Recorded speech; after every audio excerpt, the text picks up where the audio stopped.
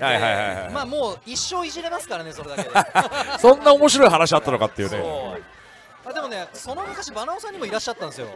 おバナオさんのファンネリーが。おあのプアナヨさんってのが。いやギャグじゃなくてマジでいたんだって。ねまあこネーミングの話はそろそろやめようか。ネーミングが面白いでしょ。あれプアナヨさんだっけ？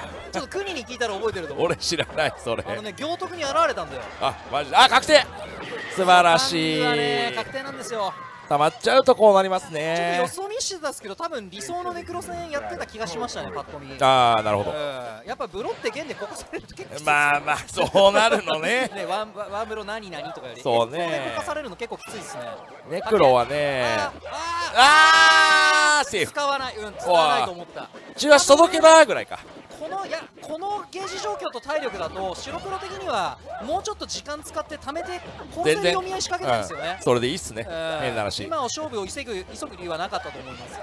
ハケ？ハケ強えな。いやーこれは繋がらなはい。い、まあ、これは使うでしょうね。でここで次の読み合いで殺せると。いや今大々当たってた死んでたかな。